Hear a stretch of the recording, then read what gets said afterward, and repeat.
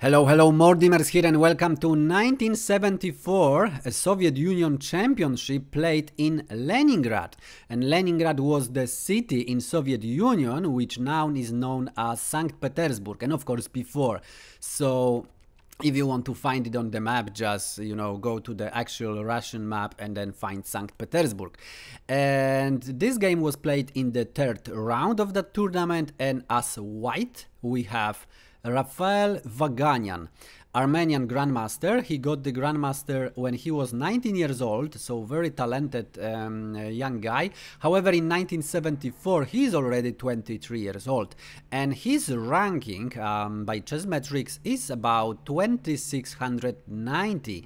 So he's extremely strong. He was considered to be in top 50 at that time, but 10 years later, in 1985, he was considered to be top 5 in the world, maybe even top 3, just um, behind Kasparov and Karpov. Uh, so uh, really talented and strong player. And he, about his play style, he doesn't actually calculate all the variations very precisely. He play very intuitive and attractive chess, so uh, it's really uh, great to see one of his uh, best games.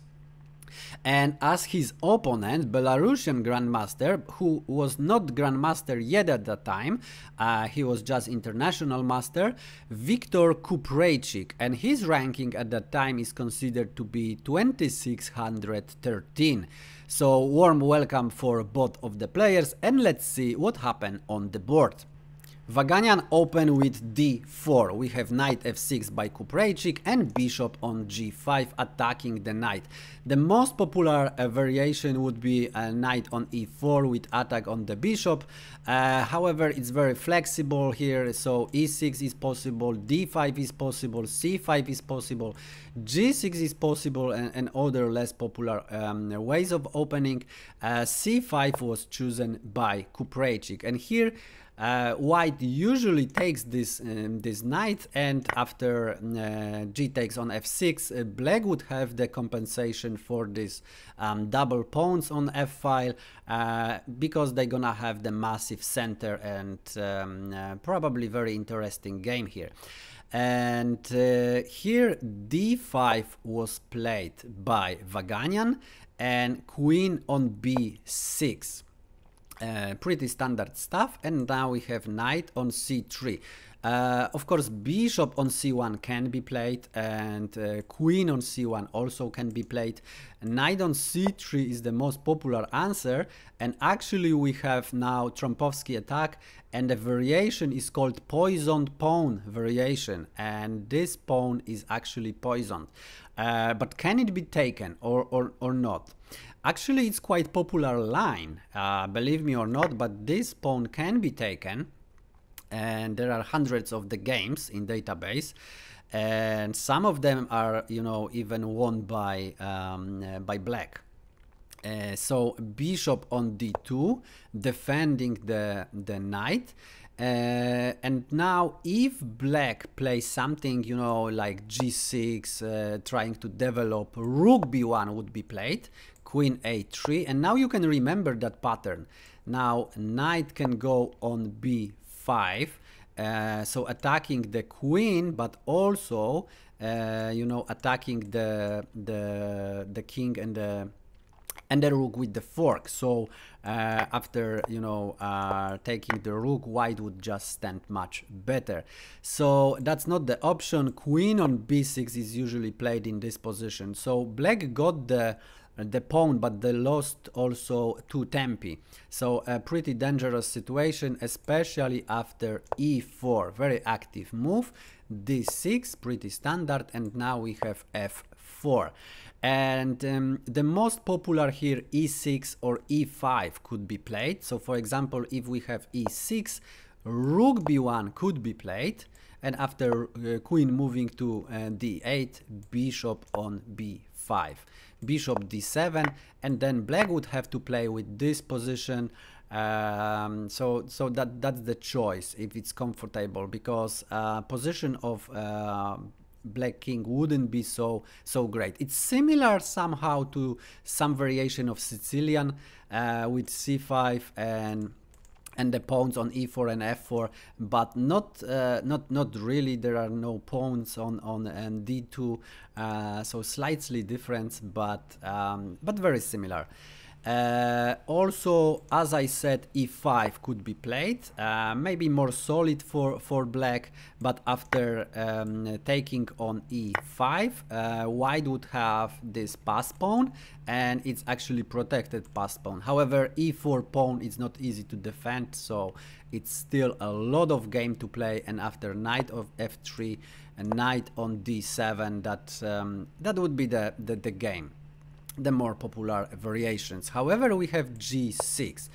and G6 is not really recommended. It gives white a lot of possibilities, attacking possibilities, uh, but actually interesting fact that in 2004 uh, Nigel Short played this against Magnus Carlsen and Magnus Carlsen had a great attacking game at that time uh, but at the end he lost. So Nigel Short defended really fiercely, really great, very good defense. Magnus Carlsen was, was known of the very attacking style at that time. Um, but he was 14 years old at that time, so Nigel Short had much more experience. Uh, and he managed to, to win and survive all these fierce attacks. Uh, uh, but let's back to the to the game. So uh, Vaganian play e5, so attacking in the center. We have d takes on e5 and f takes on e5. So uh, knight has to move somewhere, so going to d7. And here we have knight f3, so um, developing another piece. Uh, bishop g7, so attacking twice the pieces in the center. Uh, so as you see, if the if the pawns are so advanced, it's not easy um, to defend them. And that's also the case. This is why white don't care about this they just uh, you know want to push but first have to be this this push has to be prepared so rook on b1 and now this queen actually doesn't have much um, squares to go uh, this of course is scary because of this bishop and also this would be scary because of the knight. Uh, so queen d8 was played and here we have e6. Of course bishop f4 was possible um, but it's not the idea to defend the pieces in the center when white can have so much initiative. So e6, e6 was played and look at this now f takes on e6 and now white don't take um, on e6, they go knight on g5. Look at this. So this knight actually threatening now um, the fork and you know winning the the, the minor piece. This um, this bishop is in troubles. So black actually play um, knight back to f6. So now we have defense um, on e6 um, pawn. However, bishop on b5 and this check. Uh, and here, of course, uh, bishop on um, d7, everybody would like to play bishop on d7 or at least knight on um, d7. The problem is, this is the problem, this still, the threat is still exists here. So it's impossible. King has to be moved to f8. And here we have d takes on e6. Uh, and believe me or not, but the the most interesting move recommended by the engine actually is bishop on h6 so making a space for this king. Uh, and the variation could go as follows. So let's just feel uh, what this situation is about. So um, castle by white could be played, king g7, going to the safety, and now bishop on d7. It looks like really crazy move. It's like does nothing. However, after bishop on d7, we don't take, we just play rook takes on f6. Uh, and look at this position now. Uh, e takes on f6. Now we have knight on f7, forking the queen and the rook. Uh, so queen has to move somewhere or on e7. Let's stay close to the defense. But now we would have um, uh, bishop on h6 with check. Uh, king g8, the only move. knight d5 attacking the queen and also if the queen is moved somewhere then we would have checkmate so queen has to take on e6 and now knight on d8 i really like this line uh, but th this line let you feel the position. Look at this. So this bishop actually controlling the the squares and this knight also control the squares. So this king is totally trapped here. So now just you know find the way how to checkmate. Um, queen on e5 has to be played because queen is under attack and now queen f3 so still checkmating ideas or black would have to sacrifice uh, the queen. So uh, the only move bishop on f5 and now queen on b3 the threat is knight on e7 with double check and mate. So uh, that's pretty serious threat and nothing can stop it. So c4 and even if bishop go on e6 then checkmate can be done also from e7 so uh, look at this. This is all covered by uh, white pieces. So that would be very beautiful checkmate. So even the the line recommended by the engine doesn't really work in the you know human terms. Uh, black would have to sacrifice the the queen for the defense. Um, but here of course uh, didn't play that he played a6 more active and trying to kick the the bishop and here Vaganian could go with bishop on d3 and have the active gameplay, but he go with bishop on e3.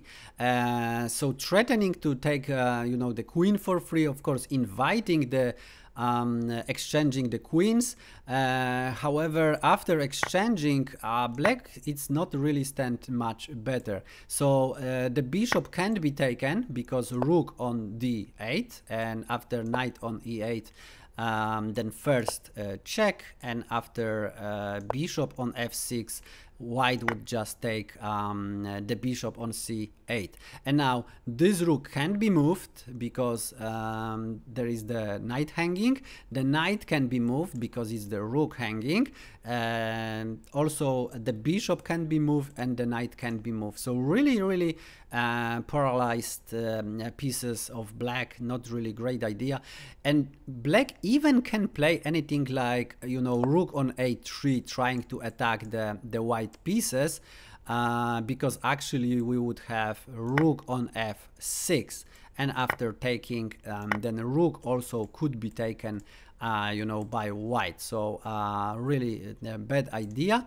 Uh, bishop on h6, um, similar idea like before, uh, but after rook on d8, king g7 there is a space now with the with the bishop on h6 uh, but now actually it also doesn't work um, exchanging the rooks and here we would have knight on f7 with check and of course um, white winning the piece so king g8 and white takes the, the, the, piece and after king on g7 actually white are up the piece and of course uh, winning the game very easily uh, so it's not the option to exchange the queens. This is why Kupreichik decided to play queen on a5 so now look at this. Uh, the pawn attacks the the bishop um, on b5 and also there is the queen which attacks the the knight on c3 so two pieces are hanging. And now tell me uh, what would you do in this position if you if you you know um, attack uh, as white? So feel free to pause the video and think about this position. This is a really really uh, great idea uh, of white while i enjoy my cup of tea.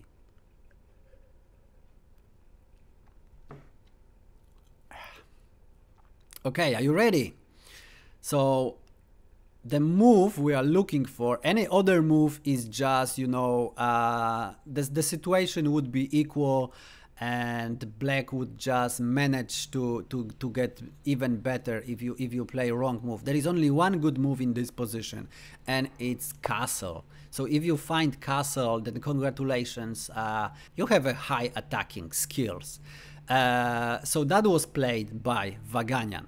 Uh, and here, queen on c3, of course, can't be uh, played because we have checkmate here, as this knight now is pinned, so that's impossible to defend. And also, if the bishop on b5 is taken, it also doesn't work, because we would have rook on b5 with check, queen c7, as the queen has to stay here, otherwise uh, it's checkmate, of course. So queen c7, knight d5, now attacking the queen, so queen has to move, uh, maybe queen e5, uh, bishop c5 now with attack on the uh, e7 pawn so black could defend. Uh, anyway bishop on e7 with attack knight on e7 and now white don't need to take on e7 can play knight on f6 and now the queen is under attack and, and black has to do something about that. So sacrifice the queen uh, for some two pieces or maybe move the queen on e3 and after king h1 bishop f6 rook takes on f6 with check king e8 and now knight f7 attacking the rook. Uh, but actually with other much more powerful threats. So bishop could take on e6, so don't care about that, that rook. There is no time to take that rook actually, but now it's still not enough.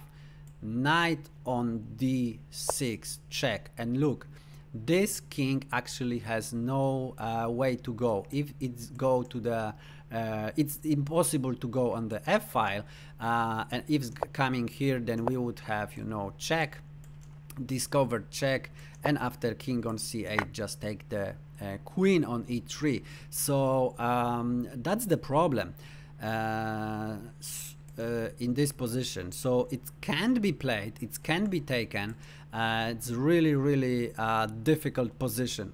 So uh, what Kupreichik found here is h6 and now look at this position. Now we have one hanging piece second hanging piece and third hanging piece. So three pieces are hanging and now feel free to pause the video for one more time and find the best uh, idea for uh, for white how to win this game uh, while I enjoy my cup of tea.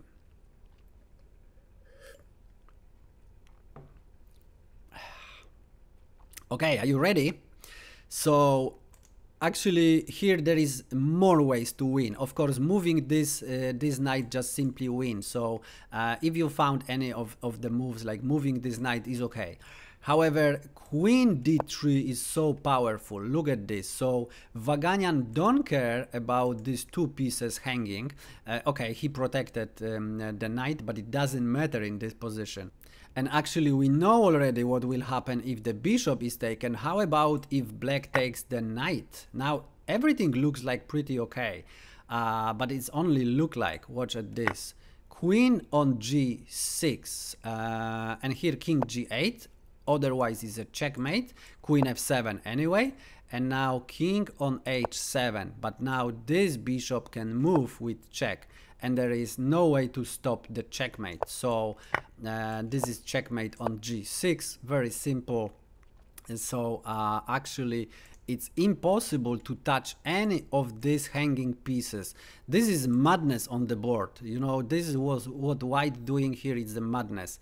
King g8 was played. Now we have queen on g6 anyway, and bishop on e6. So black now, you know, get rid out of this um, uh, this pawn. That was the really big pain for, for, for black, and now black can start to play. Uh, we have knight on e6, so um, taking this um, bishop, and here we have rook on h7, because of course there is a threat of checkmate. So rook on h7 is forced, and here we have rook on f6, another crushing move. There are a lot of um, ways to win now, but rook on f6 is so fancy. And now what's the threat here? Rook on f8 is is of course checkmate. So um, and and another move in e takes on f6 also doesn't work because there would be checkmate on f8 so it also doesn't work. So the only move defending would be knight on d7 now defending um, the square on f8 Uh, but here we have bishop on d7. It's not the best way to, to win. It's not the brightest and the most effective way. But it's the simplest way, I think. So after bishop on d7, actually um, Viktor Kupreichik resigned the game. So what a wonderful game. And now I would like to point one more thing. Look at white. They had three hanging pieces and black didn't have even time to take any of these pieces. And look at this. White actually didn't lose a single piece. They lost only these four pawns and that's all. So this is quite you know this is madness on the board. And now um, black. What black can do here? Actually totally nothing. Queen can take on c3 so uh, getting back some material but it's uh, but it's not en enough. White now can just choose they want to uh, win a fancy way or maybe just more prosaic way. So fancy way would be rook on f8. It's slightly more calculation, but no, not really. Rook takes on f8 and now knight on f8. Um, and now we have the threat with checkmating ideas here and checkmate will, will, will follow on f7 or h7.